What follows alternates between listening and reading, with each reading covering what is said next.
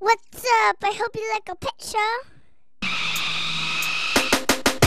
Yo, yo, I'm a hipster and I am very small. You may not believe this, but I am also tall. One day a dog picked me up and took me home. He invited me to dinner and offered me a bone. The hipster said, yo, yo, I'll give it a try. If you go to the store and buy me a pie, I said, no, just go and eat the bone. And if you do not like it, then you just go home. Yo, I'm